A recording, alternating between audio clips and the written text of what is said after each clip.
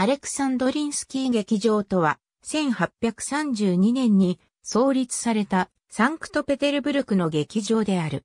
現代では、プーシキン記念ドラマ劇場として存在する。1896年にチェーホフのカモメを上演し、失敗に終わった劇場でもある。サンクトペテルブルクは、ピョートル一世が作り、モスクワから銭湯を行った。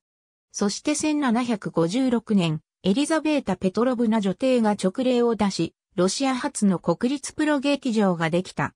これが1832年にアレクサンドリンスキー劇場になったため起源であると言える。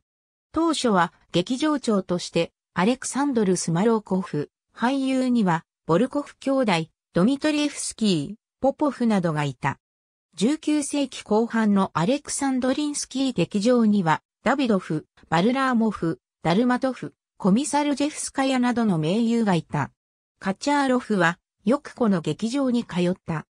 ソビエト政府は1921年1月、代表的劇場にアカデミー劇場の名称を与え、教育人民委員部の直接管理下に置いたが、アレクサンドリンスキー劇場もその一つとなった。2003年からワレリー・ホーキンが芸術監督となった。またそれまでは、廃れていた。ありがとうございます。